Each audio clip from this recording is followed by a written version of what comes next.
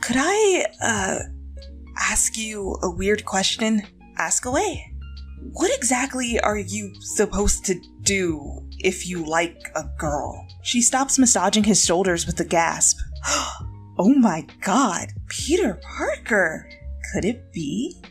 You have a crush on a girl? No, I, uh, I'm asking for a friend. Yeah, Ned! Ned has a crush. he thanks the heavens that Yasmin is facing his back and can't see his scarlet face. Mm-hmm. Right. Ned has a crush.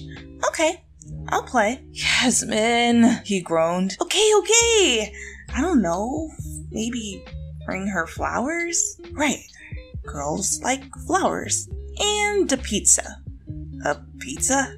Everyone likes pizza, Peter. I guess you're right. Uh, speaking of pizza, how's the spicy Italian? It was my first time making it. It's perfection. Absolute perfection. Or, should I say, spicy perfection? All right, uh, not my best, but it's really good. Awesome. You want to switch? They turn around and he begins to massage her shoulders. He bites his lip and concentrates on loosening the knots created by stress. Hey, Peter? Yeah? Your crush is a really lucky person. What do you mean?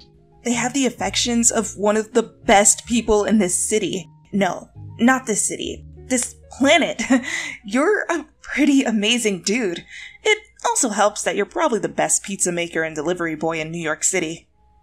You really think so? Oh, yeah, Pizza Parker, absolutely. Your only flaw is that you're not from the best borough in the city. All right, Brooklyn, thanks. No worries, Queens, no worries. And for the second time that day, he sent a silent thank you to the big man above.